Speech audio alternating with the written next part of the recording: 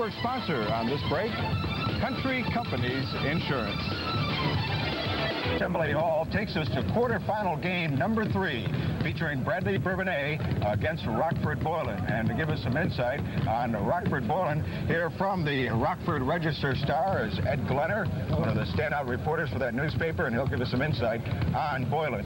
First off, though, about Bradley Bourbonnais. Let's find out a little bit how, how the Boilermakers got here, and they are under veteran coach Vern Sloan, having lost only twice this year, uh, the very difficult SICA South Conference.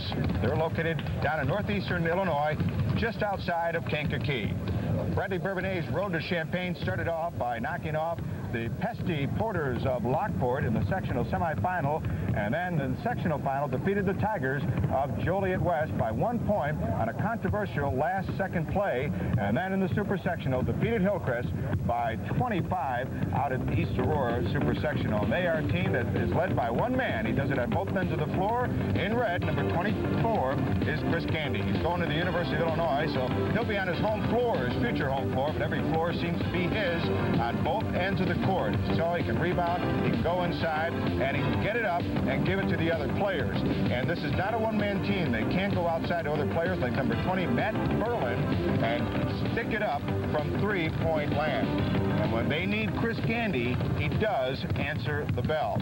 Now, meanwhile, Boylan has been answering the bell all season long including their big win earlier in the season over at the time number one ranked and undefeated Chicago King. Now the Titans are out of Northern Illinois, of course, in Rockford. They'll be wearing their green and white. 29 and 1 this year under Coach Steve Goers. Now, as we look at the Boylan Road to Champaign, it started off with Geneseo and, of course, that LaSalle Peru game. And Elgin Larkin was a difficult one, but they got over that step. The toughest one there, Ed? Uh, the Geneseo game. That was their first game without starting guard Lee Lampley, who was suspended. Um, they didn't have time to set up a half-court defense or offense. They had to work on that. Against LaSalle Peru, they got things in gear, and Larkin, uh, the 30-7 run in the second half carried him to victory there. Well, we'll take a look at some of the highlights of Boylan, and we'll find out what makes the Titans go. Put-back buckets, such as one Michael Slaughter here was on a rebound of a miss by John Hernandez. Then feed inside to Slaughter from Bill Benz for a dunk. Big crowd at the Metro Center, 8,700. Another easy bucket underneath, one by Hernandez. And then John Hernandez going to Eastern Illinois, hits from three-point land. Boylan gets it rolling in the second half. Then Darrell Banks underneath again to Tim Hobson, who now starts with Lampley's absence, so he's going in for the Boylan. I love the way they share the ball. They really push it around to each other and really become it becomes a great team effort. That's one of the things I like about Boylan. And we look at the starting lineups and we match those up and see how they are. There's certainly several key matchups that you may want to watch when you're watching this game and in the middle of your screen, the 6'8 Gandy against the 6'6 Slaughter. My question, can Slaughter stay with Gandy at both ends of the floor? Oh, I believe so. Slaughter's fairly strong. He's listed at 6'6". He jumps much higher than that. He may play like 6'8 or 6'9". They talk about Gandy's slenderness, although Gandy just told me he can bench press about 205. Slaughter strong also, so that'll be a good matchup there in the middle. Well, when we look at the team comparisons, you'll see obviously by that statistic that the height advantage is definitely with Boylan. But one area that Bradley Bourbonnais can't get hot with, we saw in their highlights, they can put up the three. They can be very accurate from the free throw line, and Gandy really shows up in crunch time. But all those X's still point to Boylan. Yeah, Boylan gets a lot of put-back buckets with Hobson and Slaughter underneath. Three-pointers, we originally maybe would give that advantage to Boylan, except Boylan no longer has Lampley, and he was .425 from the three-point range. Free throws, Boylan, I would say, is a so-so team. Rebounding, Boylan plays much better, positions well, plays much taller, excuse me, than, than their opponents do. Um, as far as overall matchups, I would say Boylan's also their overall quickness, too. They're the full court press. They're, they're very acrobatic team, very athletic team. And very briefly, before we go out of this segment, veteran Vern Sloan coaching Bradley Bourbonnais and, of course, uh, one of the young Turks and Steve Goers. Well, as far as the coaching goes, I guess Vern Sloan maybe comes from more coaching pedigree. Uh, his father won a state title with LaGrange Lions in 53. Steve Goers, on the other hand, won his 400th career victory right. against against LaSalle Peru in the sectional final. Steve has a tremendous record. Both coaches are about seven, about 750 winning percentage for their career. That must be, uh, Ed, while they both look so young. Ed Glimner, thank you so much for being here. We will be back to continue our Road to Champaign quarterfinal matchup preview. Coming up next, it's Stevenson against Richwoods. The Road to Champaign continues from Assembly Hall after this time out from our network sponsor, the Dairy Farm Families of Illinois and Wisconsin of the University of Illinois in Champaign-Urbana as the Illinois High School Association presents the 21st annual Boys Class AA Basketball Finals. And hello again, everyone. I'm Joe Passion back down here on the floor of Assembly Hall as we move into the second session of the Boys Class AA quarterfinal round. Now, first, before we preview tonight's games, let's go back and review today's earlier games. Top-ranked and unbeaten Proviso East did come back and hold on, defeating Collinsville 53 to 51 to move on to tomorrow morning's semifinal game against Chicago Public League champion Westinghouse, who had to battle but stayed on top in a big way against East Aurora. So those are the pairings you'll see tomorrow. Now, of course, to find out who the other semifinalists are going to be, we got to talk about today's game. And tonight's game will feature Bradley Bourbonnais against a team that comes in here ranked number three in the state, Rockford Boylan. First off, the visiting team are the Bradley Bourbonnais Boilermakers of Coach Vern Sloan. At 28 and 2 this year out of the difficult SICA South Conference, this is a ball club that comes out of the Kankakee area from Bourbonnais, Illinois. The road to Champaign for the Boilermakers, ranked 11th in the state coming into this Elite Eight, knocking off the Lockport Porters and then Joliet West in a controversial win in the sectional final at Sandburg, and then their super sectional defeat of Hillcrest at, ironically, the East Aurora super sectional. Now, the home team here today in this third quarter final game will be Rockford Boylan and the Titans out of, of course, the Rockford area and they are one of the only Catholic schools here in this double A final. 29-1 under Coach Steve Goers out of Rockford, Illinois. The road to Champaign for the Titans, who are ranked third in the state. Started off by knocking off Geneseo, then LaSalle Peru, and a big victory over Elgin Larkin in the super sectional, and that gets them here to the Elite Eight for the fifth time. And to set the table for tonight's tip-off, let's send it to center court, where Dan Roan and Kenny McReynolds are standing by. All right, Joe Passion, thank you very much, and welcome once again to Champaign. Game three out of four here today in the Double A Boys Basketball Tournament. Uh, game three featuring an attack of the Killer Bees, Kenny, Bradley Bourbonnais and Rockford Boylan. First, we'll talk some about Bradley. Uh, team with a lot of weapons, but there's no question what the top weapon is. He's Chris Gandy. Well, Chris Gandy may be the future here at the University of Illinois. Let's face it, he's going to play for the Illini. This young man leads the Boilermakers, 20 points per contest, nine and a half rebounds. This young man can play the game. Watch the defensive block by Chris Gandy. He's a little skinny, Dan, but this young man gets up and down the floor. Watch the turnaround, lean in jumper. This young man knows how to play the game of basketball. He can do it on both ends of the floor. Good rebound right there. This young man could be a force in the game tonight.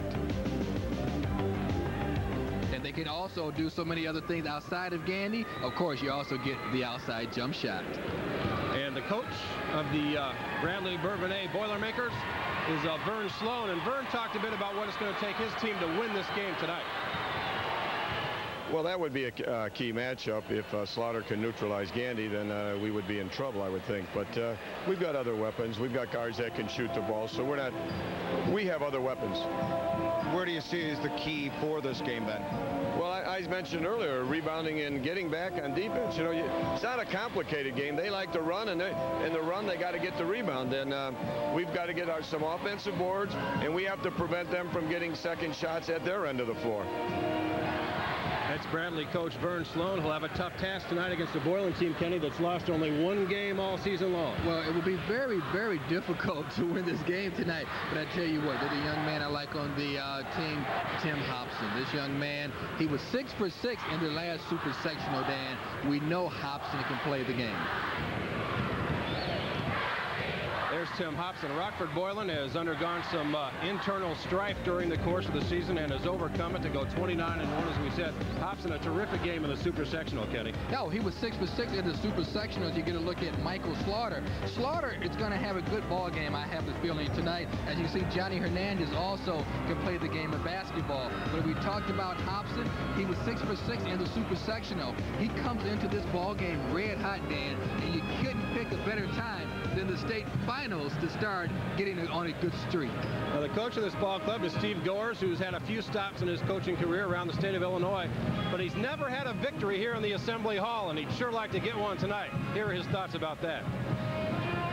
Well, I feel a bit like Tom Davis from Iowa coming to the Assembly Hall. You know, you know it hasn't been a very fortunate place for me uh, in our state tournament appearances, but uh, we have a good ball club, and each year, uh, you know, in each game is certainly a different reflection in, on your, uh, you know, your, your coaching uh, uh, experience. And I, I, think that our team is ready tonight to play an outstanding game against Bradley, and our kids are loose and ready to play. And it's, it's more of a veteran team I've had. we have three, actually four players that have been on the varsity for three years while both these teams have had great seasons, Kenny, there's a marked contrast in the way they play basketball, and we'll take a look at that as we look at the keys to tonight's game, brought to you by Milk. It does a body good, and by the people who produce milk, the well, dairy farm families of Illinois and Wisconsin. Sorry about that, Dan, but I think Bradley has to handle the pressure. You know they'll get pressed, and you, they want to get the ball inside to Gandy. For Boylan, they want to make it a high-scoring game, up-tempo, because they average 85 points per contest. They want to get up and down the floor, but on defense, they want to put pressure on the perimeter so Gandy can't get a good look. So look for them to put a lot of pressure on the perimeter tonight. All right, run and gun on one side, control tempo on the other. Should be a good basketball game here tonight. Rockford Boylan and Bradley Bourbonnais will tip it off in just a moment. One of your network sponsors, Country Companies Insurance.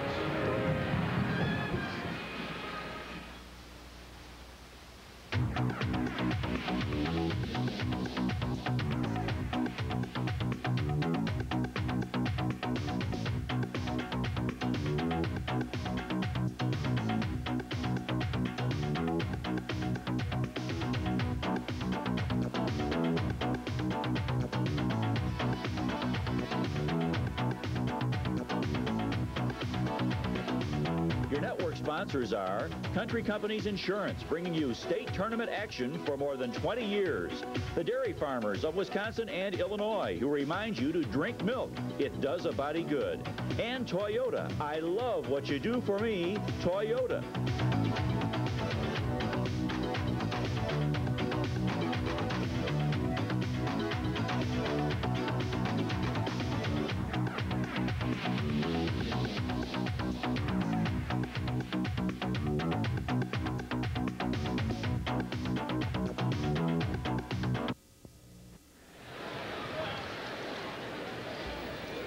Back to the Assembly Hall. Dan Roan and Kenny McReynolds set to bring you game three of the quarterfinal round of the AA Boys High School Basketball Tournament.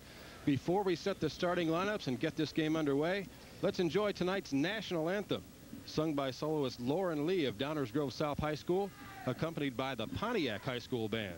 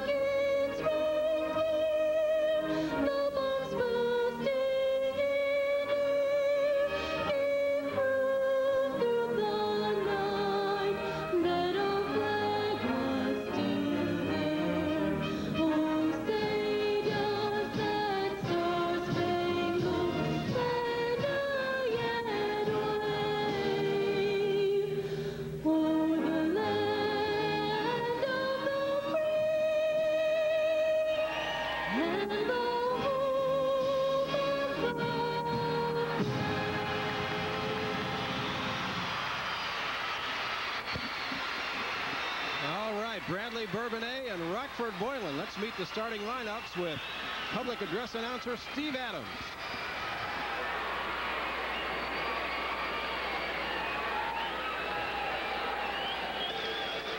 And now, ladies and gentlemen, let's meet the coaches and players for this third quarterfinal round game featuring the Boilermakers of Bradley Bourbonnais High School entering this game with a record of 28 and 2 and the Titans of Rockford Boylan who come into this game with a record of 29 and 1.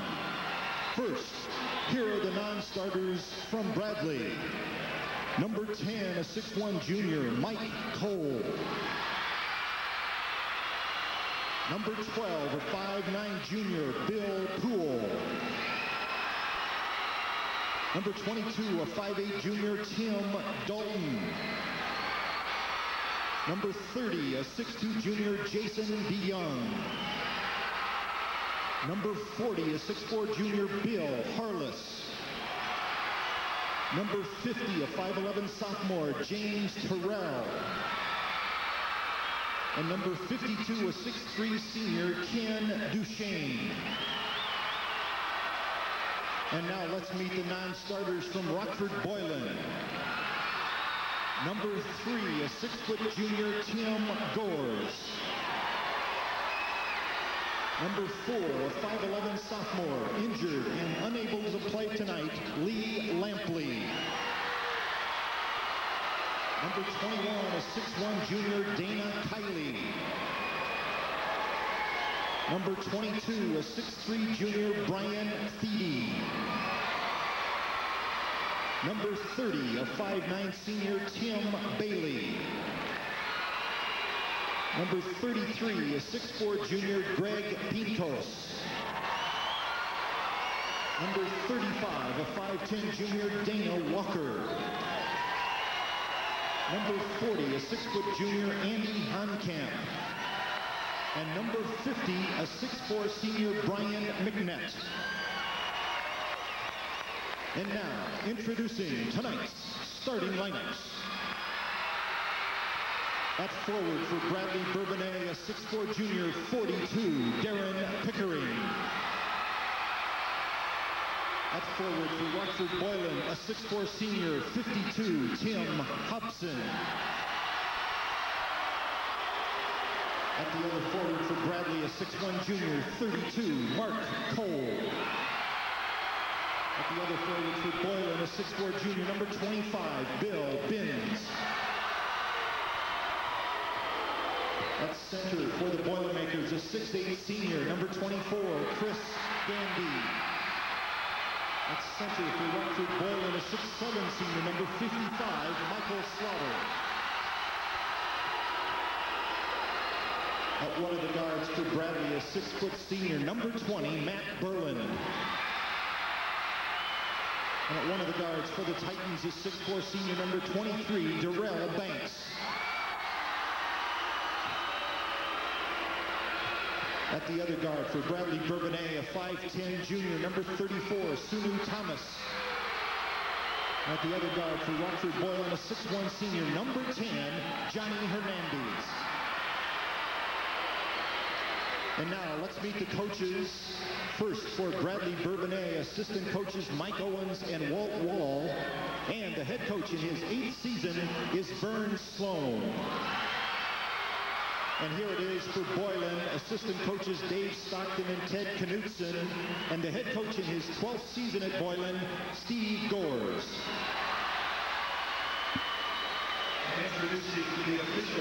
29 and 1 Rockford Boylan against 28 and 2 Bradley Bourbonnais. We'll tip it off in just a moment. One of your network sponsors, the Toyota dealers of Illinois.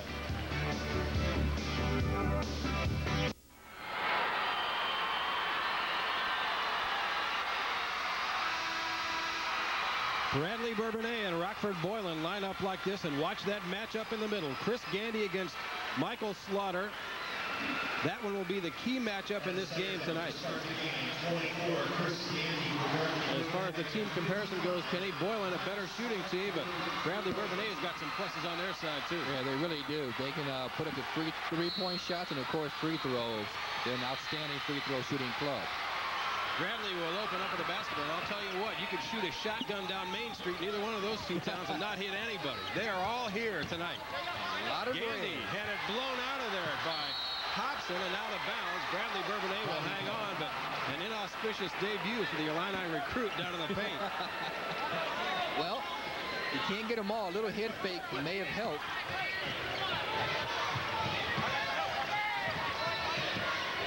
Number 20 with the basketball, Bradley Bourbonnais is Matt Berlin. A near steal there. Try to pick it up. Back outside we go, and Gandy's loose in the lane for two. Well, that's what they want to do you listen to all the Bradley fans, and there are a lot of them. They want to get the ball down low to Chris Gandy. Matchup zone defense by Bradley. Johnny Hernandez is number 10, almost threw it away. Hernandez, a great athlete, captain a 12 and 1 football team up at Boylan this year as the quarterback. Near turnover, Sunu Thomas on the floor. They've got the bust out, and this is Berlin for two. Well, a good team will capitalize on other teams' mistakes, and they come away with the two points. Three-point shot on the way, no good by Darrell Banks, and a quick start for the Turtles in this game, Kenny. The slower tempo team, Bradley Bourbonnais, has the first two hoops and now has the basketball. And you see now they'll go down in a half-court game. They want to make it a slow-down game. They're in no hurry to run. Cut off at the baseline. Sunu Thomas's shot is short. The ball's tipped out, and a bust out if they hurry with Johnny Hernandez. Rockford Boylan on the board. And that's their game, Dan. You know they love to run and gun. They will get up and down the basketball floor tonight. Rockford Boylan scores 85 points a game. They've been over 106 times this year. And Bradley scores at only 59 a game. So they'd like to slow it down. Quite a contrast. Bill Binns after the steal. He's Oh, undercut. He's okay, I believe. And he'll go up to the free throw line after he pulls himself up off the deck. Well, I tell you, Bill Benz had, had a great steal, Dan. He goes down court. Here's Benz. Now watch the contact. As people say basketball is not a contact sport. He's flipped, but he's okay.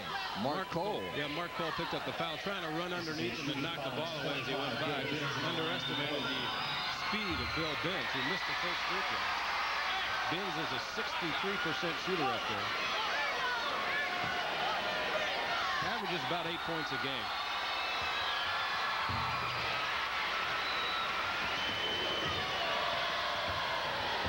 And Boylan comes with some pressure. Berlin handles that without too much trouble. Darren Pickering. Trying to lob it to Gandy down low. Nice work. Gandy wound up wide open under the basket for his second basket. Well, he had it, he was behind his man. All he had to do was lob the basketball to him. Ben's cross-court pass to Rel Banks at All-Stater. Three-point shot on the way, short. And Pickering hauls out the rebound for Bradley Bourbonnais.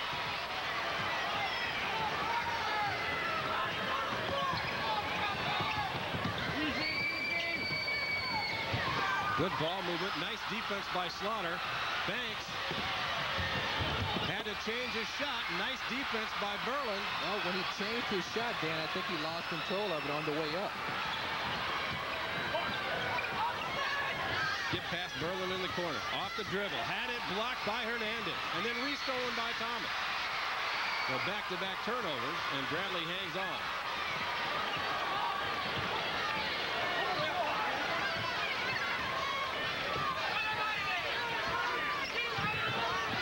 See, now he should lob it Gandy. He didn't see him.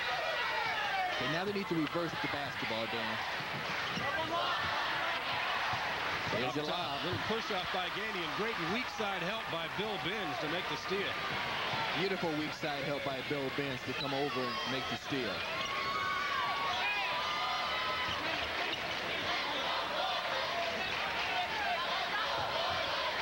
Binns in the corner. The big man Slaughter touched for the first time. He's up, and he's got it. Michael Slaughter, who Steve Gore says, Kenny, is the most underrated player in the state, bar none. Well, he'll have a chance to prove what he's worth tonight going up against Gandy. Backdoor pass stolen away by Hernandez. Hernandez on the run. Pull up 15-footer is short, and the rebound taken by Hernandez off the hands. What an athlete. Of Mark Cole, and now a foul on the other side as Darren Pickering goes down hard. Well, Pickering going for the skip pass, Dan, and when you're in no man's land like that, now watch what I call no man's land. He's up in the air, he has nowhere to go but down on top of someone and a foul.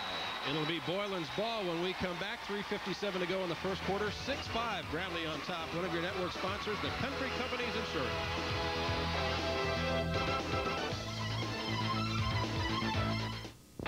This is Jackson with three. Jackson lets fly. Goal! Jackson won the game! A limited number of original collector's March Madness videos still remain, now at the low, low price of $15. Relive all the exciting and incredible history of the first 80-plus years of the Illinois boys high school basketball tournament.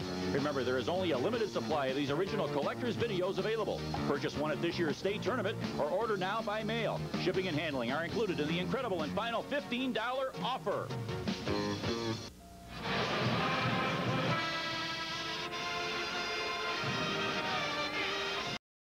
Back in Champaign, game notes tonight. Bradley Bourbonnais uh, at 11th ranking in the final regular season polls, Kenny, and has not been to Champaign in a long, long time. Boylan, of course, a regular visitor, but not very often a winner. In fact, never under Steve Goers. Boy, that's tough.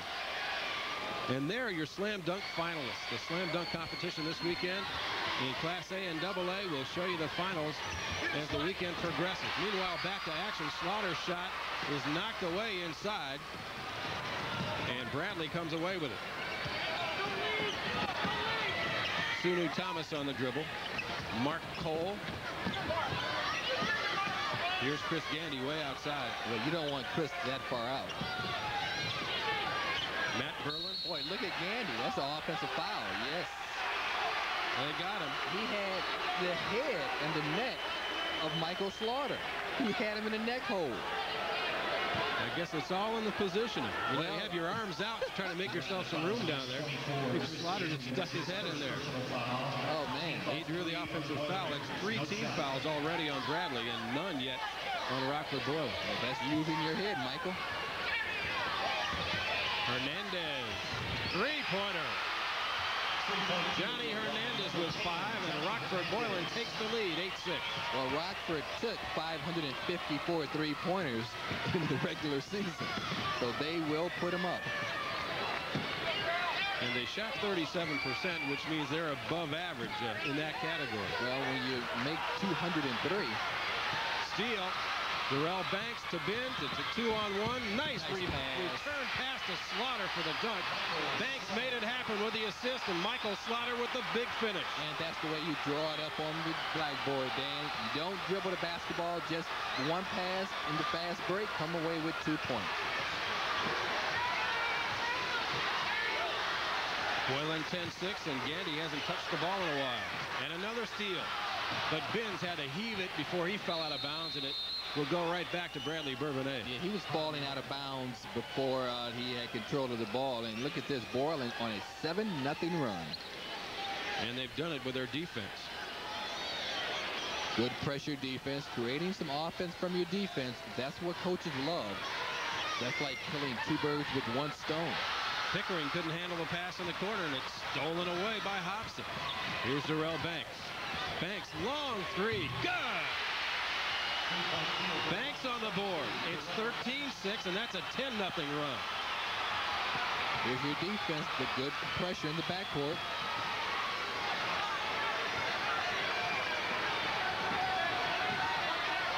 Inside two minutes for the opening period, and this game's beginning to heat up.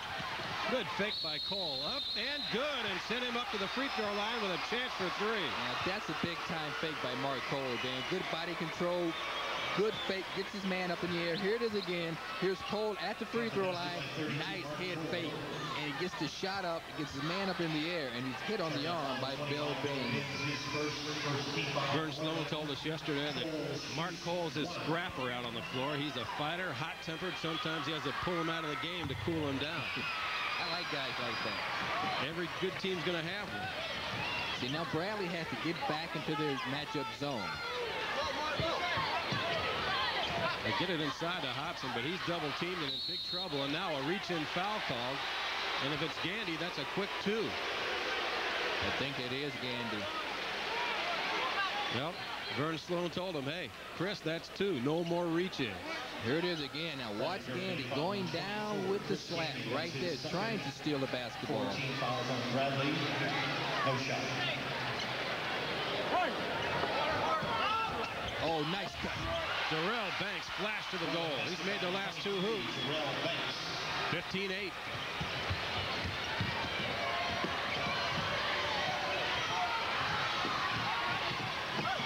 Cole in the lane, missed the short jump shot, and Bradley's hanging on. Pickering, though, threw it away, and Banks makes the steal. Well, Darrell Banks all over the place. I was just about to say, they say Michael Slaughter may be the most underrated player in the state. I've been impressed so far with Darrell Banks. To Banks. Now Slaughter down on the post. He's got Binns for three.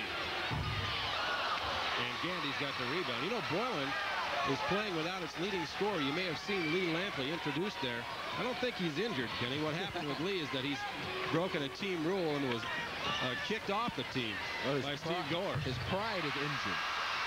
Darren Pickering on the board for the first time tonight, 15-10. So Lampley's missed the last three games, but Rockford has been able to regroup despite losing his 20 points a game, and that kid's only a sophomore. Heck of a player. Yeah, we'll hear a lot from him. Rockford, uncharacteristically, is going to hold the ball until the end of the quarter. We're inside 20 seconds.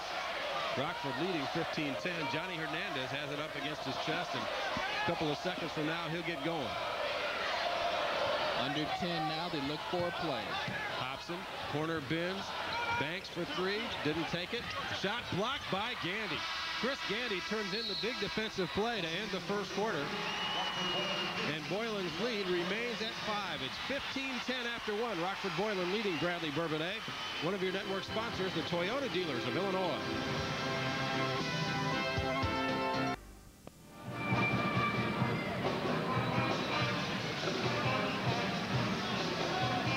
Champaign once again. These are the finalists in the cl uh, Class A and Class AA Slam Dunk competition. The first year for this, and it's been a rousing success. Big crowds in the Assembly Hall last night for the prelims.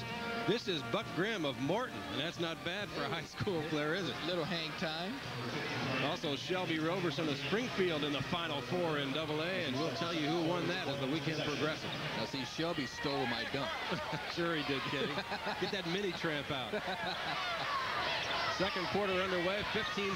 Boylan leading Bradley Bourbonnais and Rockford Boylan with the basketball. Bradley still in that matchup zone that's caused Boylan a little bit of trouble so far, although Banks has made a couple of shots over it. See, they're not attacking. You have to attack that zone, Dan. Get some good ball movement. Get a seam if you can get it. It's tough against a matchup, but attack it at least.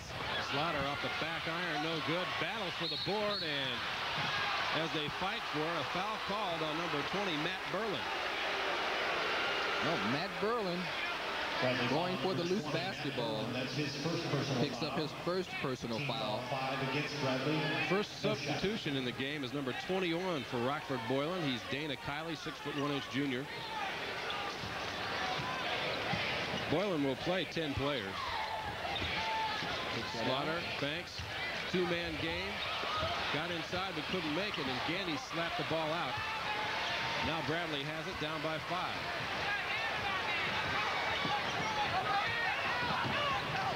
Oh, lob to Gandy. Kiley went for the steal, didn't get it. And Cole's jump shot on the baseline is right there. Mark Cole. Well, if Mark Cole can shoot from the outside, that will open up that inside game because they're double teaming Gandy down low. Bradley down by only three.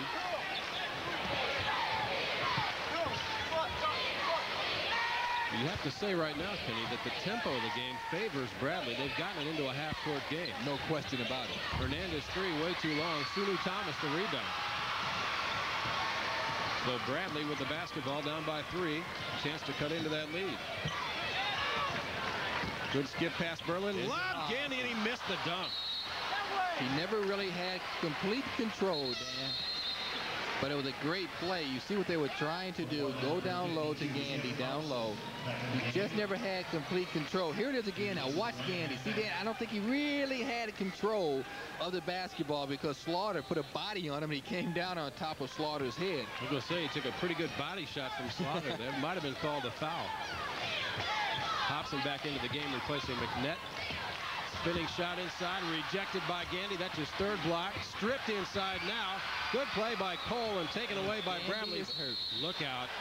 Holding the ankle. Chris Gandy on the floor. Hold You need help? Well, I believe he banged up his right knee a little bit. But he's up.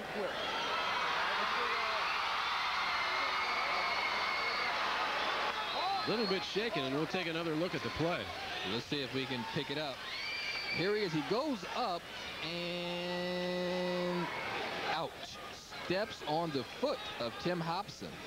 That hurts. And a push-off foul on Banks.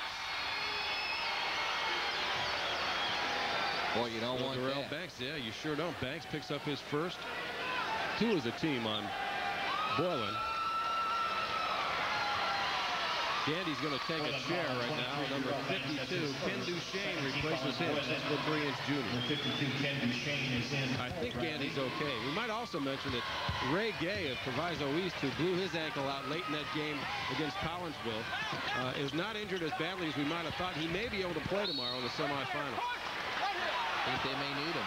Back here, Duchesne picks up the foul. Going for the offensive rebound. That's six on the team now, and the next one will put Boylan in the bonus. Fouls on number 52, Ken Duchesne. That's his first. 16 fouls against Bradley. No shot. Now Boylan is in the bonus. Here's that matchup zone again for Bradley. Tyler to Slaughter. Slaughter up against double team pressure and knocked it in off the glass. Well, with Gandy out of the ball game now, you know they'll go down to Slaughter every chance they get. Berlin on the break. And Matt Berlin brings his team back within three, and now Banks has it knocked away and out of bounds to Boylan. Oh, that's just great hustle, though, Dan. Great hustle by Mark Cole. Running down the floor, knocking the ball out of bounds. And also gives Bradley a chance to get Gandy back. Boy, but look at the hustle here. Just on the opposite end, on the offensive end, Berlin with the layup. But then all of a sudden, here they come back down court. You know they want to run and gun, but that's just good hustle by Mark Cole to knock the ball out of bounds. Three-point shot no good by Banks. Rebound up and swatted away, but Johnny Hernandez was fouled on the play. Johnny Hernandez is everywhere for Rockford. He's just been all over the floor for the Titans. Foul goes against Darren Pickering. That's his second. Here's the shot, boy, but just look at Hernandez. Good offensive rebound. No pump, no fake. Gets up. Actually, Gandy gets a clean block, but the foul was before Gandy came over the whistle blew. You get a good look at Johnny Hernandez. Steve Goers says he's the strongest guy on their team. And it shows. Look at the muscles. Headed for Eastern Illinois to play basketball, but he was the quarterback and captain of the 12 and 1 football team, a three-year baseball starter. Makes one out of two. Does he sell tickets? He does everything else. His father's an Illinois State patrolman.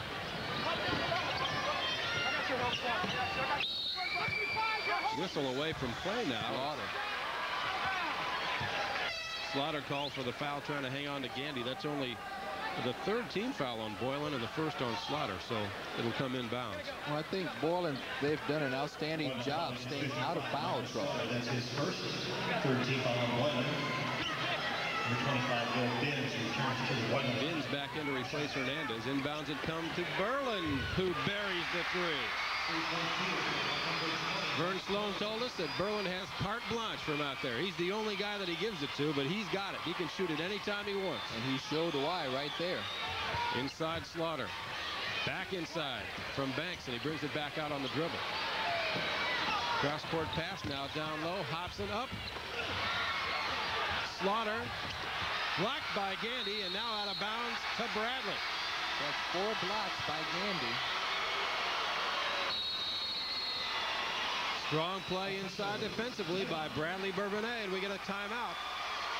A one-point ball game with 4.33 to play in the first half, and one of your network sponsors, the Dairy Farm Families of Illinois and Wisconsin.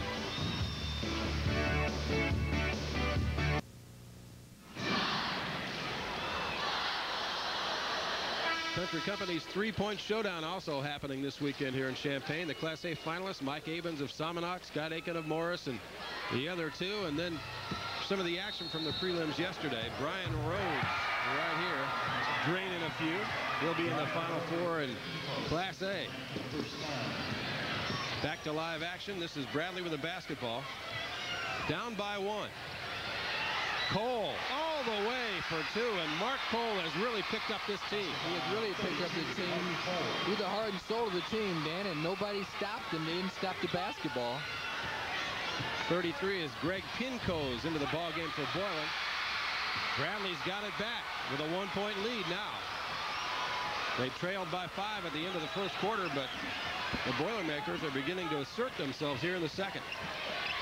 Cole again with a good fake. Throws it up there and hit the back of the iron. Gandy fortunate not to get his third foul over he the pulled back. back just a little bit. Berlin had it knocked away. Pincos with a steal.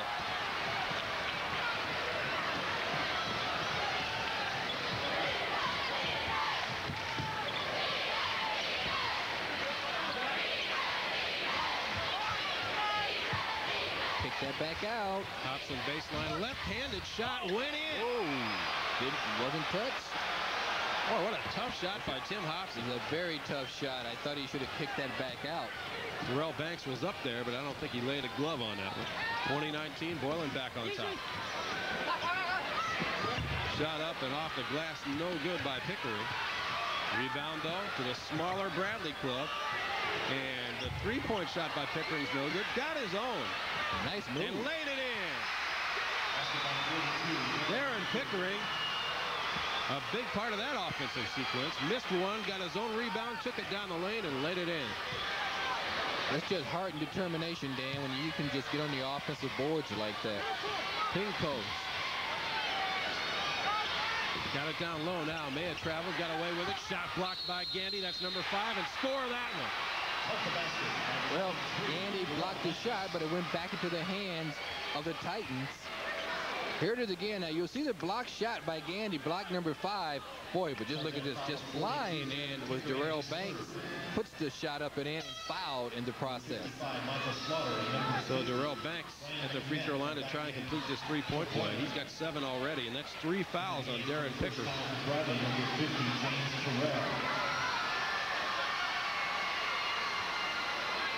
Very, very impressed so far, Dan, with Darrell Banks.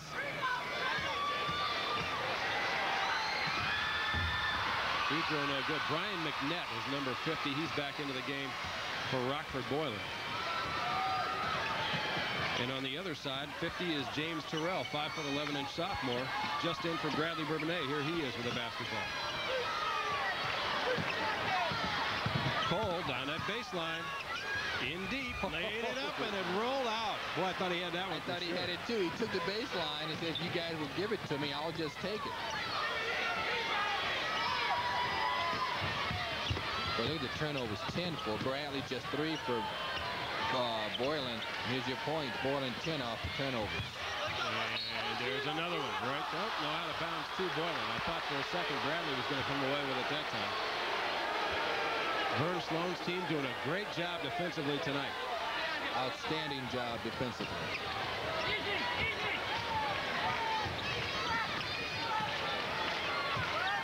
That matchup zone giving the Titans fits, I think. Hernandez three-pointer right there. Johnny Hernandez second three of the night. That's what you call a zone breaker.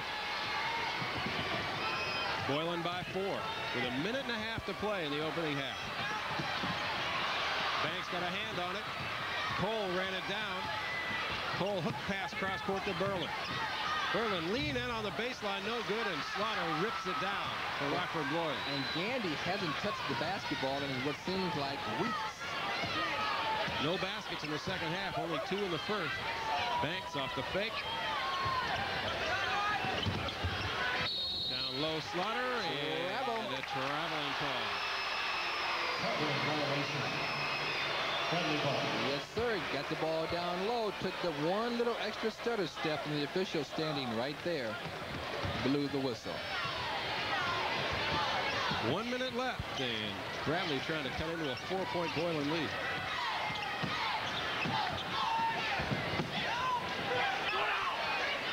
Mark Cole went ahead and shoulder nothing there. Oh, nice, nice. He dropped it down for Berlin, who couldn't make the shot. Berlin runs it down in the corner, though. They're scrappy, Dan. Cole again. Cole spits it out to Berlin. Berlin shot short, and finally, Boylan's got the rebound. Johnny Hernandez pulls it back out.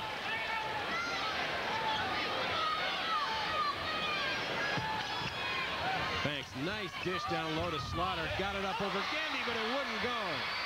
That ball almost died on the front of the rim. I thought Gandy had a piece of it. 10 seconds. Bradley with a final shot. Trying to cut into a four-point lead. Berlin crossover. Nice move. But he missed it, and Slaughter's got it. Can they get a shot off? No. Nope. Darrell Banks couldn't quite get there in time, and we've come to the end of the first half. Not an offensive showcase by any means, but an exciting game nonetheless. Boylan by four at halftime. 25 to 21. Well, Dan, I think you really have to get Gandy the basketball more if you're Bradley. He hasn't touched the basketball and what, like we said, seems to be weak. But you have to give Boylan credit. They've been scrappy. Defensively, there's not much wrong that Bradley has done tonight. And right now, Joe Passion standing by with Bradley coach Vern Sloan. All right, Dan, thanks very much, Vern. What are you taking in the locker room with you? Well, we've, we've got the tempo of the game where we want it. It's not an up and down game. It seems like we're uh, going too fast in offense, making mistakes, and they're converting those mistakes into their layups. They've done a good job of shooting threes, though. We've got to do a better job to get out on the shooter. Okay, go get him, Coach. Thank you. Thanks very much, Vern Sloan, the head coach for Bradley Bourbonnais. We'll send it back over to center court to Kenny and Dan. Okay, Joe, Vern Sloan very happy with his team's performance in the first half, even though they trail Rockford Boylan by four. It's 25-21 at halftime. One of your network sponsors, True Value Hardware.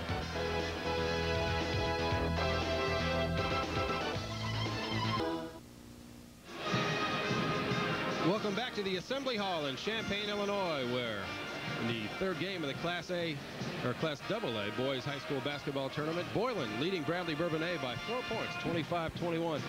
Interesting game, Kenny McReynolds, so far, even though, as we said, it's not an especially uh, thrilling game from the offensive standpoint. Uh, many of Boylan's games have been this year, but this one is not. Well, I think Boylan has just really, really been out scrapping uh, Bradley. I really do. I just think, you know, Bradley, they have a great player in Chris Gandy. They haven't gotten him to basketball. But, hey, I think if I'm Bradley's coach, Vern Sloan, I would be happy going down just four points at the half. They haven't played a great basketball game. It's not an up and down tempo ball game like Boylan loves to get up and down the floor. So I think Coach Sloan should be happy. Yeah, from the Bradley standpoint, it's much like, uh, like their super sectional game where they uh, were involved in a one-point game with Hillcrest at halftime, and Gandy had only four points. He came alive in the second half, and Vern Sloan says one of his major attributes is the fact that he's very patient and won't force up anything. Well, he hasn't forced up anything in the first half. In the second quarter, he didn't touch the basketball.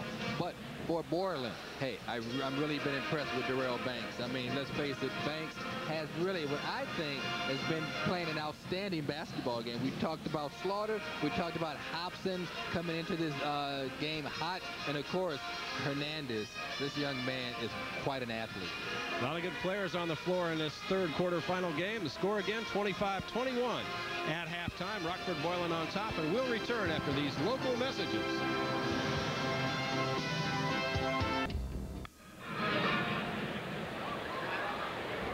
Welcome back to Assembly Hall. We're at halftime with Boylan leading over Bradley Bourbonnais by four here at the break of our Class AA quarterfinal game number three. Joe Passion back with you and join alongside Joliet West basketball coach Mike O'Connell, who is one of the many coaches who has the positives and negatives about the Country Companies Insurance three-point showdown, all the preliminaries that led into the finals, the semifinals last night, as well as the slam dunk contest. In fact, Mike was judging the three-point contest. He had one of his players, Corey Shelby, in the finalists that you'll see here on Saturday evening. What's your overall feelings, Mike, about that? Is it take away from the players' preparation, or maybe is it a good, healthy diversion? Well, I'll tell you, before uh, the regional started, I was a little leery of it, but uh, it was a real nice diversion for our players. Uh, Corey Shelby didn't seem to affect his play. He played well. Uh, real nice before the games come out, about 45 minutes. Kids were dressed. We'd watch it and then go in. Worked out real well. Some of the, you know, so, so I've been real happy. Obviously, with him qualifying for the Final Four in the state, that's another plus. Now, you also brought up, I think, some interesting thoughts about Thursday night, we had a pretty big crowd here for the Country Companies three-point showdown, as well as for the slam dunk semifinals. And I think it brings in more for the community, as well as uh, a lot of fun right here at Assembly Hall on Thursday night. Normally, you don't have that. Well, yeah, they had a wave going last night, and uh, uh, you know, how many kids get to get uniform and get on assembly floor? It's the first time I've been out there, and one of my assistants made a layup, so he said he's he's one for one from the floor. But uh, it was a real nice atmosphere, and I think the eight teams that were down here, a lot of them are looking for things to do on Thursday night instead of sitting around the rooms, and I saw several teams here, so that's another plus for it also.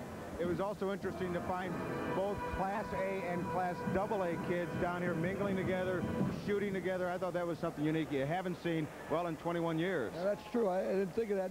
Just the, the clashing, the various uniforms, and uh, some of the kids got the Southern draws, and uh, obviously the Chicago and our area kids, and it was, it was a great bunch. Very briefly, you've been one and one this year against Bradley Bourbonnais. Can they pull this out against Boylan? I tell you, if Gandy can stay out of foul trouble, they they might be able to stay close. I didn't realize Boylan was just quite as quick as they are. Mike, great to have you here. Thanks very much. Thanks. Mike O'Connell of Joliet West, and we will be back to take a look at more of the first half stats and highlights when we return to Assembly Hall. Quarterfinal game number three. We're at the break. Boylan leads over Bourbonnais. Always something on. Everyone wants to watch. Oh, hi. Want to see a story about the plastonauts? At least that's the goal. Okay.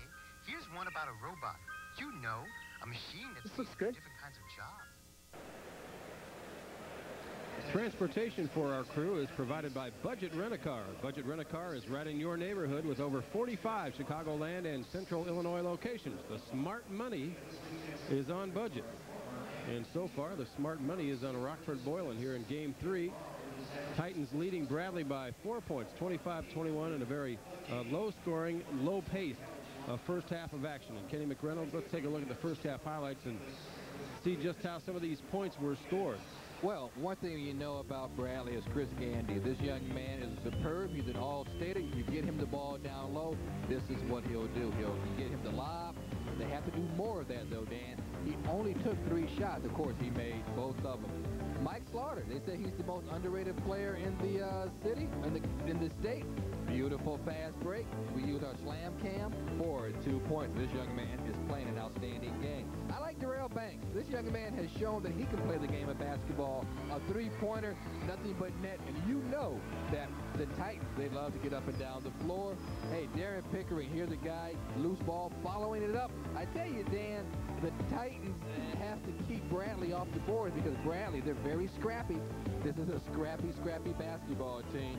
And what can you say about Johnny Hernandez? This young man is maybe the best athlete on the floor. He can hit from three-point range. That's a football player shooting like that, Dan. He's drained a couple in the first half, and Boylan with a four-point lead. Joe Passion standing by now with Boylan head coach Steve Goers. Joe. All right, thanks very much, Dan. Steve, give us a little summary of that halftime talk that you had to your kids. Well, I told them we got to pick up the pace a little bit. That's uh, 25 to 21 is way too low scoring for us.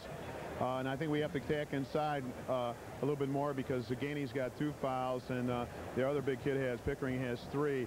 And we certainly want to take advantage of that. If they're going to play us a little soft inside because they have a little foul difficulty, we want to certainly want to penalize them for that. And I said uh, we, we gave a couple offensive rebounds we shouldn't have done. And I think we got to uh, really concentrate and control on the boards. Great, Steve. Thank you very much. Have a great All second right, thanks, half. Joe. All right, we'll send it back over to Kenny and Dan at half court. All right, Joe, thanks very much. Uh, shooting percentages uh, way down there for Rockford Boylan, Kenny. As a team this year, they've been a 52% uh, shooting club, and they're well down into the 30s as we take a look at the first half stats brought to you by milk. It does a body good, and by the people who produce milk, the dairy farm families of Illinois and Wisconsin. Hey, as you see the field goal percentage, look at Bradley, 45% to 37. Boy, but look at this. Bradley only has taken 22 shots. Of course, rebounding edge goes to Bradley Bourbonnais, 17-14. Turnovers, 10 for Bradley, just four for Boylan. It seems, though, that Bradley's been able to take more advantage of the turnovers they've forced uh, than Rockford Boylan has. At any rate, it's a four-point game at halftime. Just about ready for third quarter action. We'll be back after these local messages.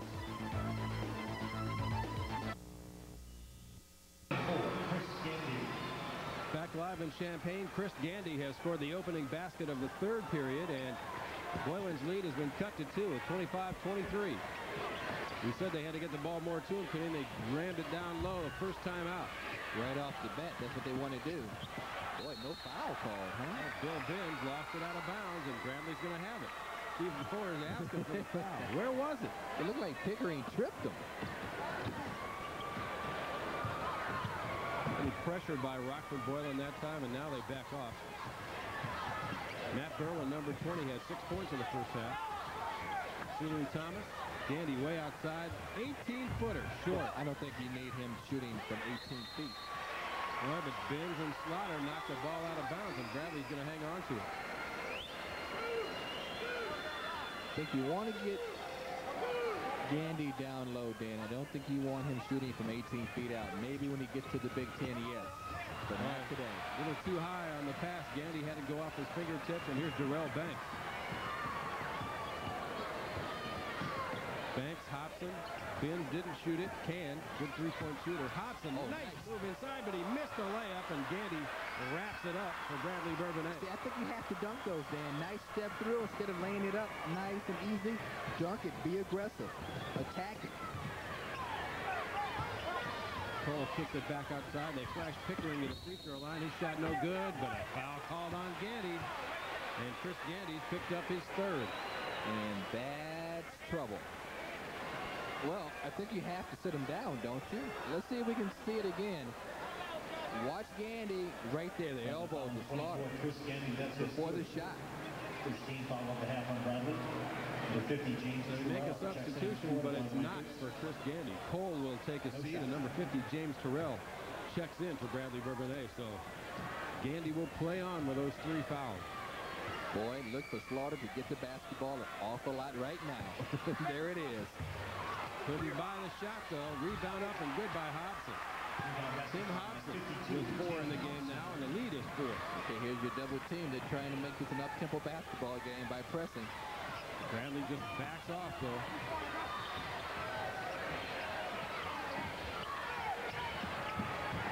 Berlin gets away from Hernandez. Now Thomas. Drained it for three. Sunu Thomas, I believe it's his first shot of the game. Not to mention his first basket. But he's given Bradley new life. They're down by one and a block shot by Gandy. Here come the Boilermakers with a chance at the lead. And that's block shot number six for Chris Gandy.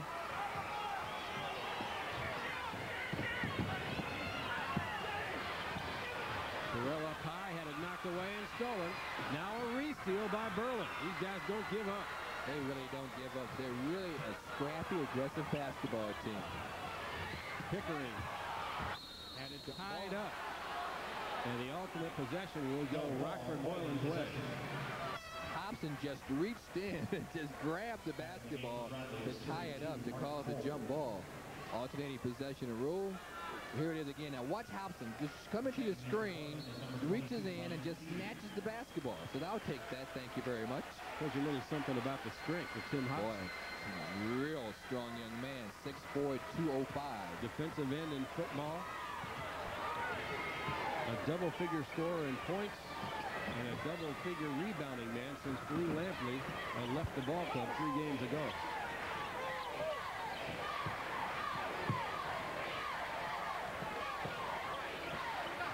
Slaughter up high, in the corner. Shot on the way and off the back iron.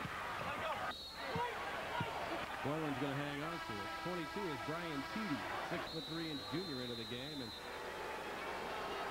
they're going to get a timeout. Timeout with 4.58 to go in quarter number three. It's 27-26, Boylan by one. One of your network sponsors is Radisson Suites.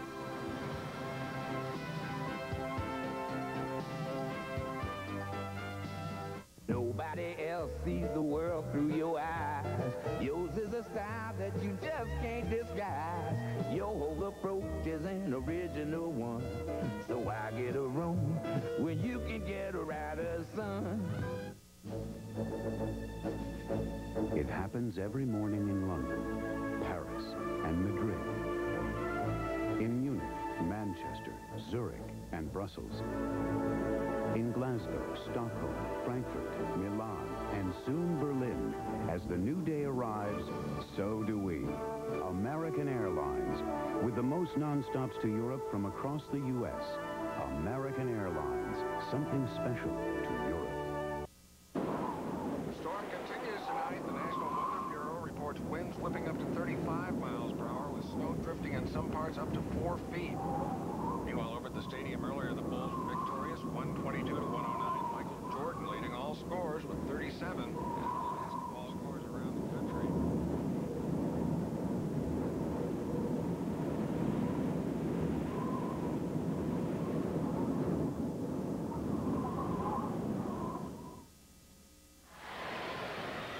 double-A portion of the Country Companies three-point showdown sees Corey Shelby, Ryan Gear, Quincy Trice, and Paul Van Deven as the final four. Back live we go. Rockford Boylan has the basketball, just under five minutes left, and Boylan clinging to a one-point lead over Bradley Bourbonnais.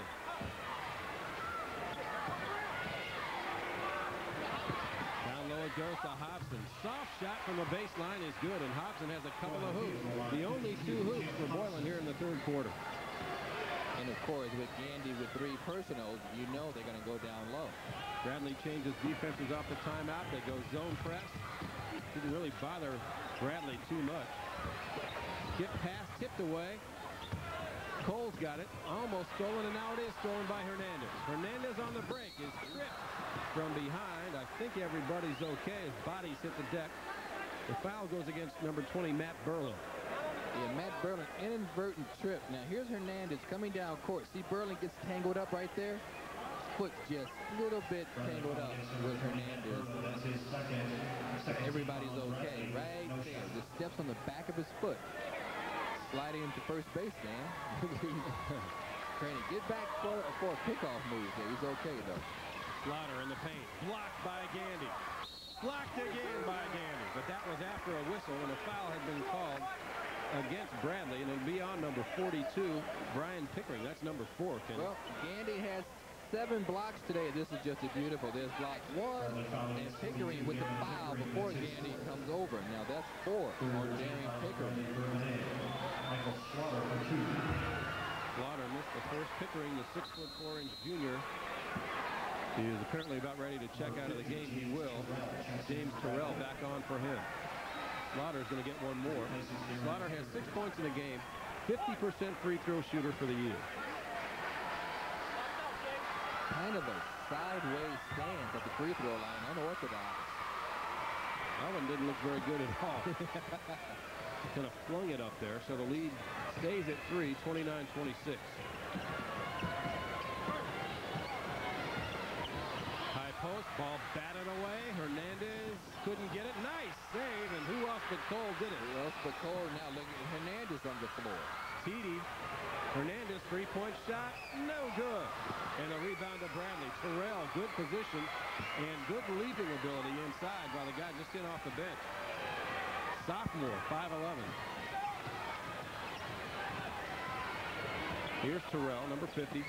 There's your lob. Two-man game to Gandy, and Chris Gandy gets his first uh, hoop, second hoop of the third quarter. Eight in the game for him. Banks forces up a quick shot, no good. Got his own rebound. It's no good. And Bradley's got the ball back. I tell you what, the tempo of this basketball game, I think, is in Bradley's favor. They're down by one point, but A, they're close, and B, it's been a half-court basketball game. There's your lob right there. Hobson got in front of that one and batted it away. And TD with a no-look pass to Banks, who can't score, but who will go to the free throw line. But we've seen all day today a lot of balls just rolling off the rim. Here it is again. Now here's Banks. Little head fake gets up, gets bumped before the shot, but the ball just won't fall. Julian Thomas picks up the foul, number one on him, four on the team. Boylan has not committed a personal foul here in the second half. And Banks missed the free throw. So Boy, that was way long. Boylan has missed three in a row.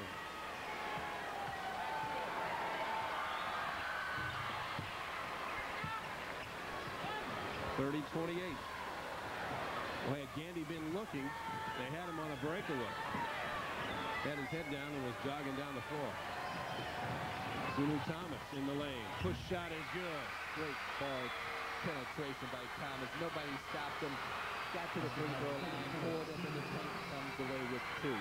The game is tied at 30. TD to Banks almost stepped out of bounds. Hobson's open for the taking if they want to give it to him, and there it is.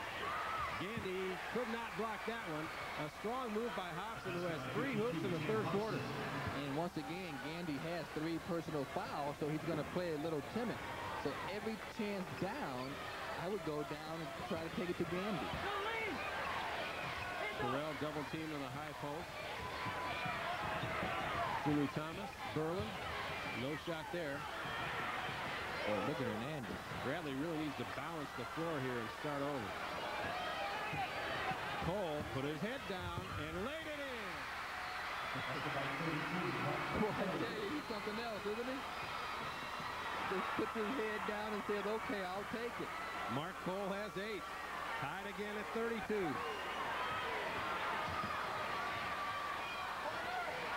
Hernandez three-point shot on the way. In and out. Slaughter and a foul called beforehand. And we'll see who picks it up. That's good position by Slaughter, though. Fouls on number 32, Mark Cole. That's his second, but five now on the team. And again, Boylan yet to commit a foul in the second half. Here's Cole Well, look at Cole. He just puts his head down, Dan, and decides, hey, I'm going to the hoop. Gets around Darrell Banks. Boylan going to throw it in from underneath, and it comes way out front. Johnny Hernandez. Low post it goes. Hobson again, and Hobson scores again. You better believe it. Tim Hobson, every time down, just take it to Gandy because if he's not going to play, you might as well take it to him. Now a foul in the backcourt against Hobson, and yes, very good recognition by the Rockford Boylan team. Oh, here it is again now. Here's Hobson. See Gandy playing just straight up. So if you're going to play defense straight up, a man can just go right around you. Now here Hobson again going for the steal. They want to make this an up-tempo basketball game. Going for the steal, and right there with the right arm. The whistle blows as he hits James Terrell. Foul number one on Hobson, number one on the team in the second half. Bradley basketball trailing by a bucket. 105 to play. Third quarter here in Champaign. Gandy to the high post. Had it blocked by Slaughter, and Slaughter hauls it out of the air. Michael Slaughter with a defensive stop. And now Banks loads it up. Slaughter back to get the offensive rebound, and Sunu Thomas steps in front of the pass. Good block. Blocked by Hernandez. Berlin hit the bottom of the backboard on the oh. rebound attempt, and back it goes to Boylan. What a play by Hernandez. Look at slow. What a play by Hernandez. Look at Thomas in the passing lane. Now watch Hernandez. This young man just comes out of nowhere, and this is a clean block. Just a beautiful block. And then right there, losing control of the basketball is Berlin. Got a little bit ahead of himself now. Boylan can hold for the final shot. We're inside 25 seconds. Rockford Boylan leading by two. This game's been played at a slow pace, Kenny, but it hasn't lacked for excitement. Well, I think Hernandez is happy they're going to hold for one shot. He looks tired. Banks to Binns. Now Banks again. low. Banks into the paint. Shot is good. Darrell Banks. And that'll do it for quarter number three. Eight minutes left in game number three, and it's 36-32. Boylan leading Bradley Bourbonnais, one of your network sponsors, Country Companies Insurance.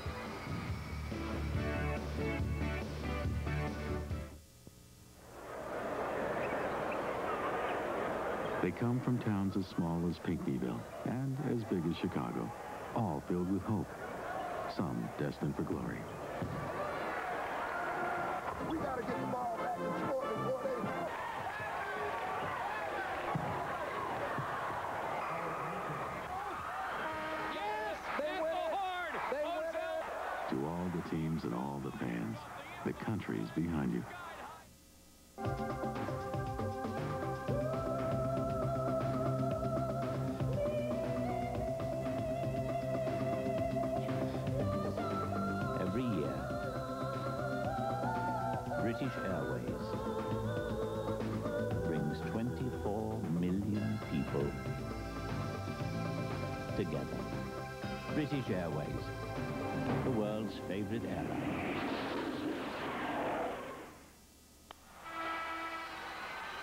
Game summary brought to you by the Toyota dealers of Illinois. I love what you do for me, Toyota. Chris Gandy up top on uh, Bradley Bourbonnais list, Kenny, with eight points and seven blocks. That's only two off the double A records that's currently held by LaPhonso Wella. And of course, Banks, 10 points, six assists. Fourth quarter underway. Bradley has it. Terrell almost bounced it on the line over there on the far sideline. Berlin had it stripped away. Hernandez dives to the floor. Got to get it out of that corner, and they do. This is Cole, and it went in and Slaughter, another rebound for Rockford Boylan. Hernandez penetration, nice dish, and blocked again by Gandy. That's number eight. And see, now Gandy has decided, hey, I know I had three personals, but I'm going to play defense in the fourth quarter. That's eight blocks. Oh, there's your lob. Oh, they couldn't get it to him. They had him, but you see Hernandez sneaking back for weak side help. He was going to try and draw the charge. They double him in the paint, but he got the shot away and now out of bounds. Reed. Close call there. Bradley uh, got the worst of it. Rockford Boylan will have it. Bradley, number 42, Darren Pickering. Boy, look at Slaughter. You see, Dan, when a young man bending over like Slaughter, pulling at his shorts, he's gasping for air. Here's the block again. Boy, look at Gandy. He says, hey, I know I have three fouls, but I'm going to have to block this shot. Was he a quick jumper or He's what? He got up. jumper. He was faked out on the pass, then jumped right back up. Hernandez, a nice offensive board. He forces it back up there and missed everything. Slaughter's turn, no good. And finally hauled out of there by Darren Pickering. Boy, this Bradley team, they bend, but they just don't break. And they, if they can stay close, Dan, in a close ball game, anything can happen. You might say the same about Boylan, Kenny. They led by five at the quarter, by four at halftime, and again by four after three. Gandy way outside, spun it out of there. and Banks has the rebound for Boylan. Shot's not going down either way right now. I, I don't know if you want Gandy taking that shot from that far out. Terrell Banks still Binns Johnny Hernandez. Boy, he's something else, isn't he? A nice looking player. He really is. He'll be playing for Rick Samuels down in Eastern Illinois next year. 11 points in the game for Hernandez. Three three-point baskets. And the lead all of a sudden out to seven. And a timeout call by Vern Sloan and Bradley Bourbonnais. 5.49 to play in the game. It's 39-32 Rockford Boylan on top. One of your network sponsors, the Dairy Farm Families of Illinois and Wisconsin.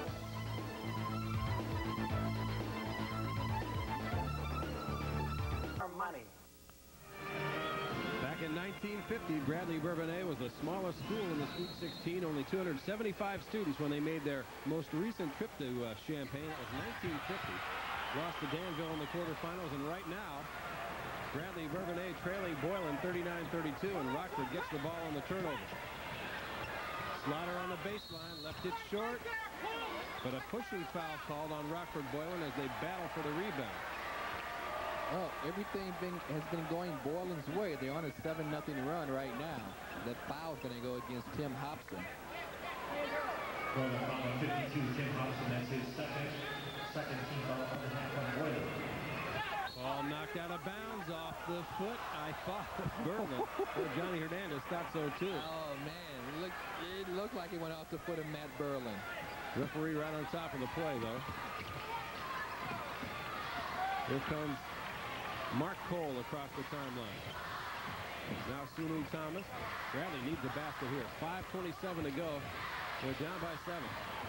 Tipped away by Hernandez, but re regained on the far side by Thomas. His penetration. Shot block, foul call. Bill Bin. Well, Ben reaching over just a little bit as you see Thomas coming by Ben. Ben leaning over and him just. That's the third team foul on Rockford Boylan. This is a shooting foul, 34, Sue Thomas with two shots. Sunu Thomas, a 65% free throw shooter, and he bangs the first one through. Six points in the game for him. Vern Sloan looking pretty cool over there on the Boilermakers bench. Well, there was a lot of basketball to be played. Thomas got them both, 39-35, or 34, I should say, a five-point lead.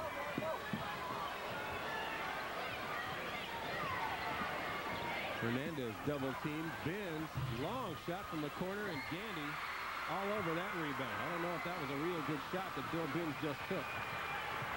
But it's not Boylan's style to slow down the offense. Gandy was open inside. The pass way too far out in front of him, and the turnover gives it right back to Boylan.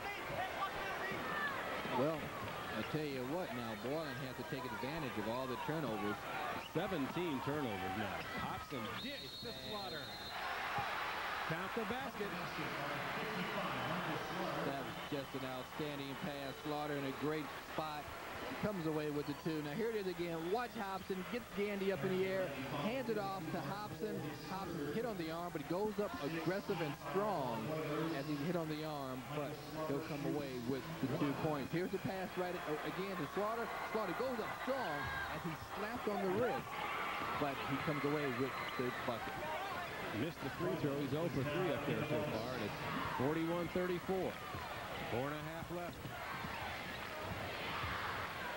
Berlin trouble, gets it away to Cole, and now. Gandy with a dunk. That's what they've been trying to do the entire ball game. Chris And- Gandy in double figures now, Kenny, with 10. Also a great job of sealing off his man with his arm and then falling back to the basket. And taken away by Thomas. Sunu Thomas weaving through traffic and now out in front. Well, you know, Binns was very lackadaisical with the basketball. A big turnover with 4.01 left. Bradley will have it when we come back trailing by five. And one of your network sponsors is Company Countries Insurance.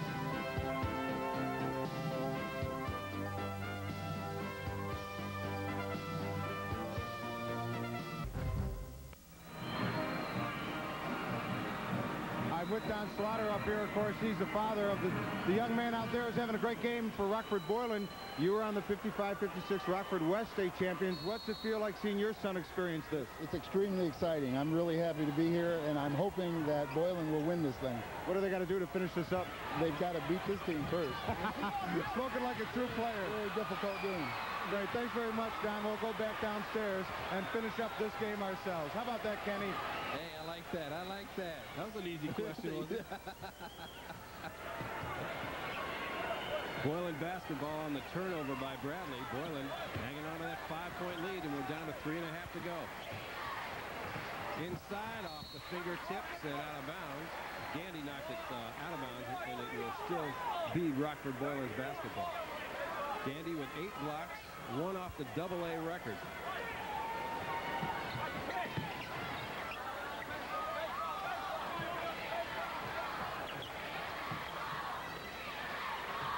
And Boylan finally, Kenny, has decided to pull it out. They've spread the floor, and against that matchup zone, they're able to handle the basketball and run some time off this clock. Yeah, they don't really need a lot of points right now. They just have to be smart and handle the basketball. Bradley putting on more pressure now. Hobson sealed off in the baseline, right back outside. Tough pass inside, too tough to handle for Hobson. One pass too many, Dan. Yep. One pass too many. I'm not sure if Steve Goers even wanted a shot in that sequence. Here's Cole. Baseline goes Pickering. Sunu Thomas off the glass and in. Nice shot by Thomas. Nice curl to the bucket. Goes up with the left hand. And Bradley takes advantage of what was a bad shot by Rockford. Points for Thomas. They streak inside. Thomas almost had the steal, but instead, Hobson another layup. Ten points in the second half, 12 for the game for him. Yeah, Hobson camped right in the paint. Good position and just comes away with the easy layup. Pickering to Gandy, knocked away. Thomas regains it and missed the three. And Slaughter, a big defensive rebound for Rockford Boylan at the two-minute mark. Slaughter scores. Nice shot by Slaughter. Everything going Rockford Boylan's way right now. Slaughter in double figures with 10, and the lead is 7 with 154 to go. They need a three. Sunu Thomas didn't go. How did it not go? And Rockford Boylan with the rebound and a foul call on the reach-in as Mark Cole picks it up. And you can just feel the momentum now all Boylan's way. The Titans having everything go their way. The shots won't go all of a sudden for Bradley, but they're going for Michael Slaughter. Nice pull-up jump shot, uses the glass so well. This young man is showing today that he can play. He has 13 rebounds to go along with his 10 points. He pretty much played Chris Gandy to a standstill so far. Timeout called. We'll keep it here with a minute 43 to go. Well, before the basketball game, we had a chance to talk about could Slaughter neutralize Gandy. I would say to this point, he's done a pretty good job. Vern Sloan said that if that happens, his team will be in trouble, and his team is in trouble here, down by seven. You better believe it. Once again, the three-point showdown brought to you by Country Companies. The Class A finalists, Mike Abens, Scott Aiken, Brian Rhodes, Garrett Allison, and at half times of the morning session tomorrow, we'll see the finalists. And uh, Corey Shelby of Joliet West, Ryan Gear, Quincy Trice of Zion Benton, and Paul Van Devin of Cary Grove. Now let's go hear what Steve Goers is saying in his house. Sit down, sit down, sit down. One more minute, minute 40 seconds, go! We're running, base, we're running baseball. Baseball key. Baseball key.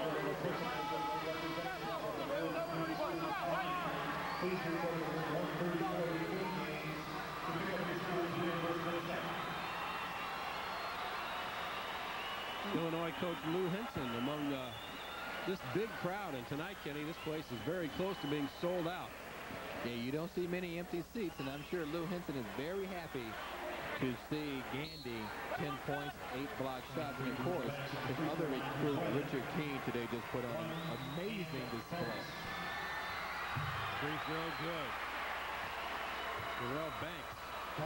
See, I like Banks. Little showmanship after he makes the free throw, falls back, puts his hands up, salutes the big crowd.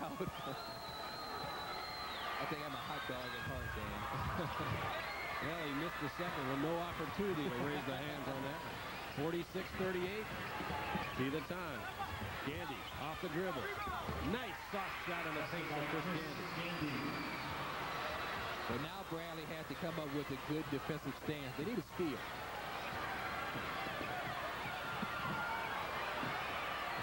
It's red floor again offensively for Rockford Boylan. They've got people in the corner. Just one free throw. Turn around. Oh, nice. Hernandez threw it right to Sunu Thomas. Bounce pass. Berlin laid it in. We're not finished yet. We're not finished yet. That's a big steal, and now they foul in the backcourt, sending Darrell Banks to the free throw line. Now, that's a pretty big steal by Thomas. I tell you what, that's the second time within the last couple of minutes he's come away with a big steal. Watch him in the passing lane. That's great anticipation. Well, he saw it coming all the way, and he was on the move before that ball was even Great anticipation. Nice bounce pass. Beautiful layup. And Bradley back in the ball game, only down now by four.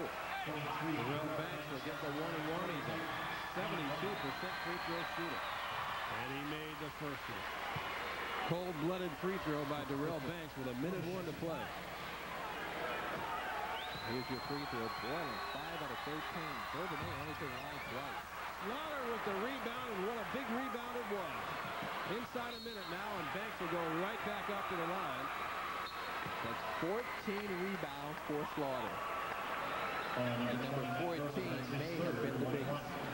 Steve Goers told us he was one of the most underrated players in the state. And you've done a pretty good job tonight, especially on that glass. And now, oh, look at the bench of Bradley. Banks missed it, and Gandy got the rebound.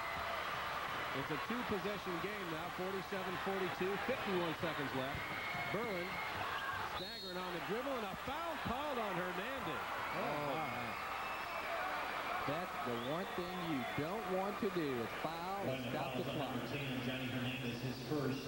But fortunately for the Titans, they had a foul to give. Actually, they have two more to give before putting uh, Bradley on the line. Bounce pass inside. Cole got the layup inside Hobson. Well, that's a tough shot because Hobson had pretty good position.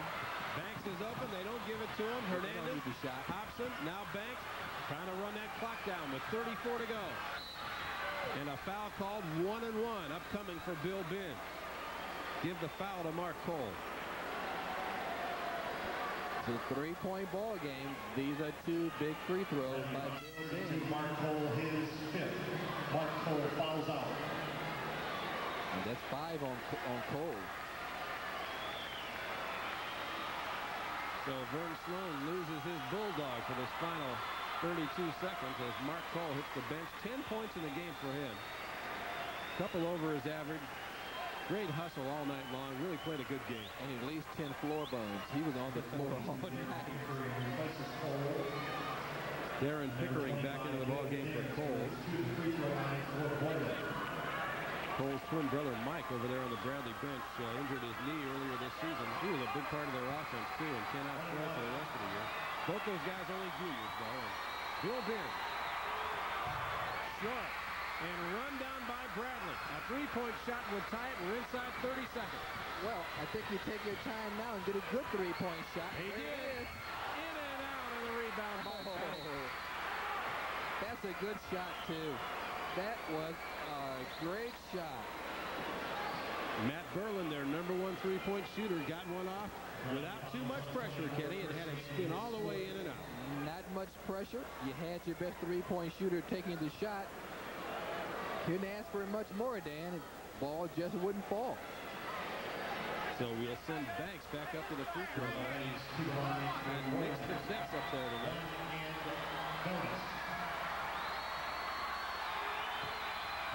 He got that one, and that was big. Once again, Bradley will need the ball twice to have a chance to even this thing up. And only 20 seconds left to play. Number two for Banks. Is in. Big free throws by Darrell Banks, the senior. He's been very, very impressive tonight. Sunu Thomas right by everybody, and grabbed him. Fouls to give, although you're very close to getting an intentional foul call on a play like that. He stuck both arms out and wrapped one around him. Let's see what he's saying. He's going for the basketball. He didn't want to give them a chance to get the three-point shot off, and he had a two fouls to give. Trouble getting it in, and here it comes to I, I would foul him again before he shoots it. Well, they don't, and here's a three-point try, and good by Berlin. And immediately, Bradley Bourbonnais gets the timeout with 8.9 to go. See, I would have fouled him before he had a chance to shoot it because you had the foul to give. You had another team foul to give, so why not foul him before he gets the shot off? But this way, hey. Let's check the Bradley huddle now and see what Vern Sloan has up his sleeve.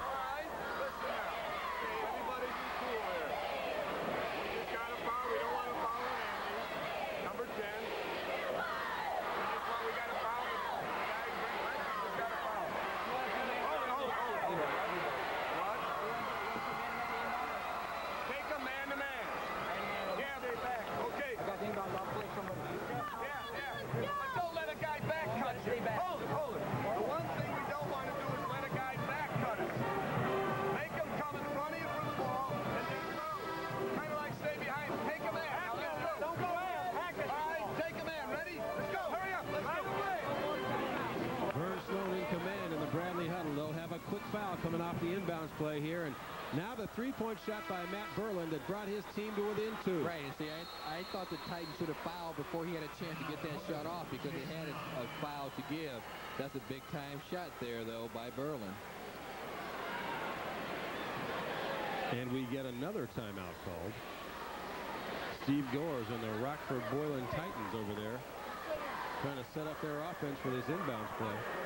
Let's see if we can catch uh, what Steve's got to say to his club.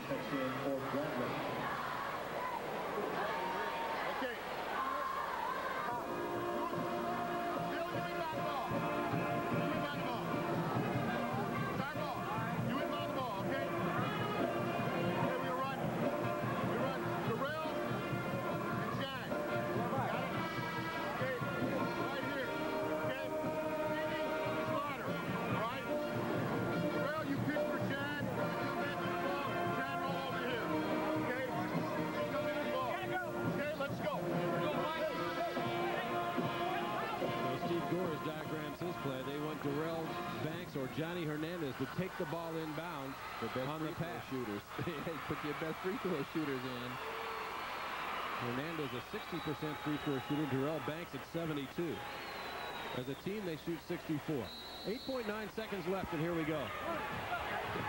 They get Hernandez, an immediate foul. Cost them almost two seconds. Seven flat left in the game. And Johnny Hernandez will shoot the one and one. Big free throws. Also 34, Stephen Thomas with his third. On the left toilet. 24, Chris Gandy checks in for Bradley. Gandy back into the ball game. Here's Tim Hobson coming back on for Rockford Boylan. The big guys out there. One and one. If he makes them both, that might do it. First free throw, no good. Gandy rebound. Five seconds. Thomas stripped oh, away by Beard. And a foul called on Bill Beard. Think they had a foul to give. Don't they? No. Sure they do. Yeah, yeah, they had a foul to give. Not a bad move by Bad Bill move. Beard. Okay. No shot. Only 2.2 to go. I'm not so sure they didn't lose some time. Well, that time really went off quickly, didn't it? Bradley needs two to tie and three to win. 2.2 seconds left. They'll have it at midcourt. Sunu Thomas to toss it in. They come to Matt Berlin. His shot right on target, but short.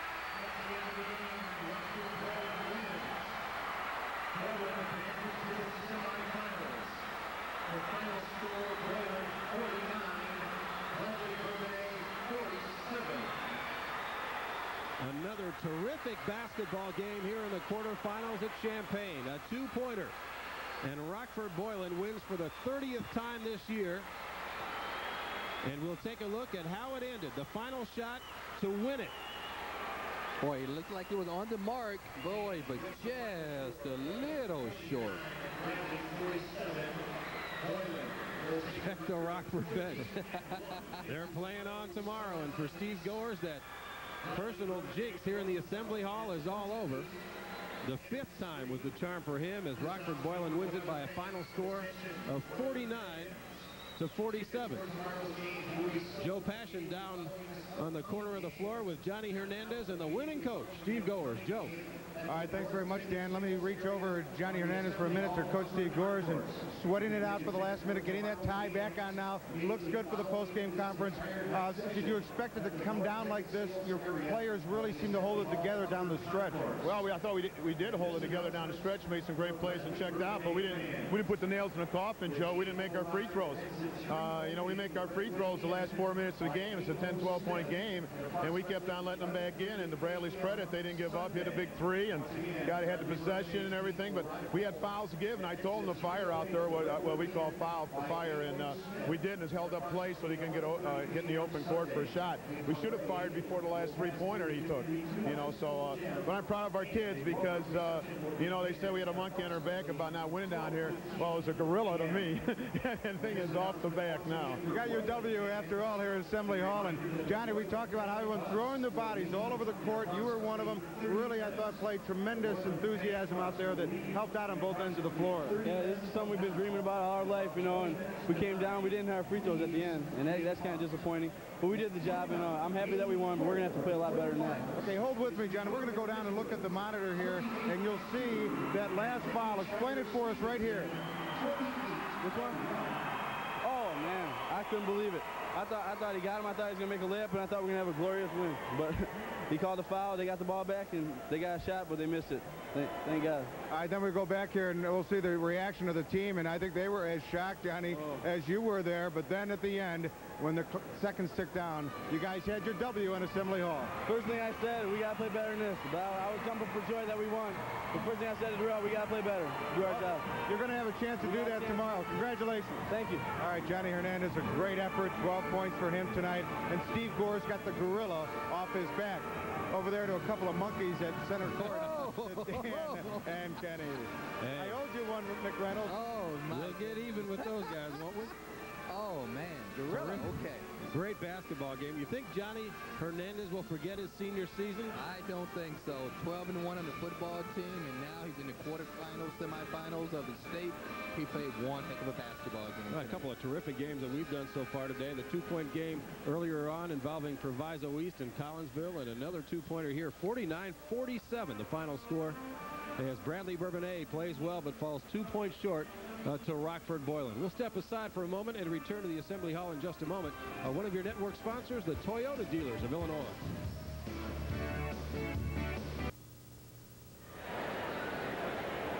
Back in Champaign, the player of the game of Game 3 of the quarterfinals here, Johnny Hernandez.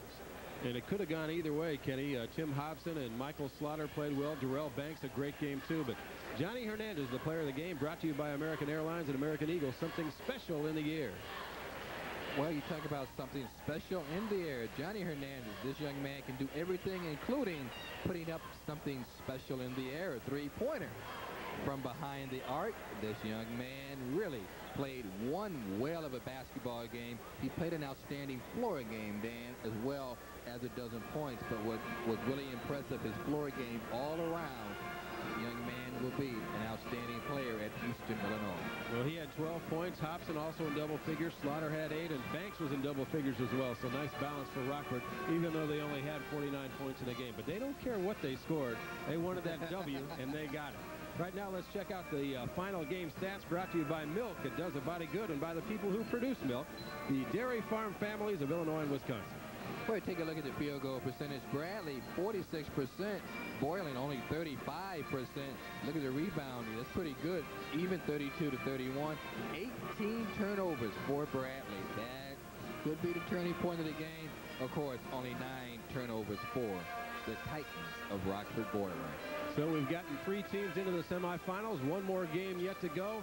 It's uh, Stevenson High School up next against Peoria Richwoods. That should be a good one as well. A couple of high-powered teams with great records, uh, much as we've seen all day long here in the quarterfinal round in Champaign. Uh, Tom Stocker will be taking this seat in just a second, so we'll step aside again for a moment. Uh, one of your network sponsors is American Airlines and American Eagle.